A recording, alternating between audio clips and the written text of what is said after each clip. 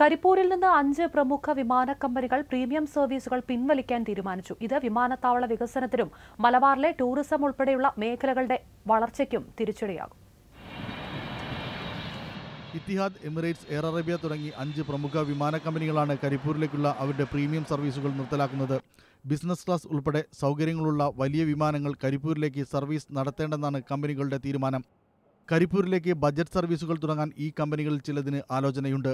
Runway നവീകരണത്തെ തുടർന്ന് നിയന്ത്രണം വന്നപ്പോൾ തന്നെ എമിറേറ്റ്സ് കോഴിക്കോട് വിട്ടു. പിന്നീട് വന്നില്ല. കോവിഡും വിമാനാപകടവും മറ്റ് കമ്പനികളെയും പ്രീമിയം സർവീസുകളിൽ നിന്ന് പിന്മാറാൻ പ്രേരിപ്പിച്ചു. ആയുർവേദിക്കിനൊക്കെ ഒരുപാട് ആൾക്കാർ സൗദിയിൽ നിന്നും ഒമാനിൽ നിന്നൊക്കെ ഇങ്ങോട്ട് വരുന്നുണ്ട് കാലിക്കറ്റിലേക്ക് വരുന്നുണ്ട്.